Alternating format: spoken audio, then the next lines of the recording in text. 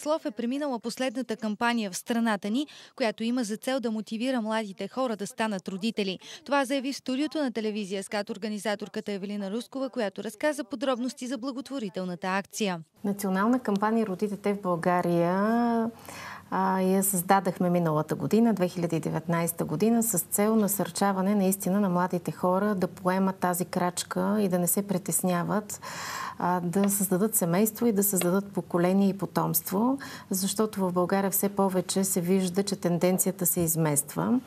Тоест, а, много често жените а, не бързат да станат майки, защото смятат, че кариерата или финансовата обезпеченост заема първо място в техния живот и отлагат естествено този процес. Репродуктивното здраве е било една от основните теми по време на кампанията, допълни още Велина Рускова. Нашата кампания беше насочена също така и към превенцията и профилактика на тези млади хора, за да знаят, а, че не са по някакъв начин застраховани, когато поискат че те ще могат да, да забременеят и да станат родители на време.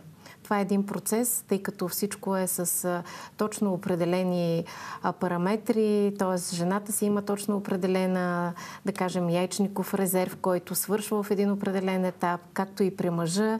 Така че репродуктивното здраве, за него трябва да се говори все повече и повече и наистина младите хора трябва да знаят и трябва да правят профилактика на себе си, ако наистина желаят да станат родители. Тази година кампанията ще бъде посветена на замразяването на яйцеклетки от страна на жените, които са решили да станат родители на по-късен етап в живота си, тъй като и световните тенденции вече сочат, че младите хора решават да предприемат тази крачка в живота си на по-късен етап, след 30 годишна възраст.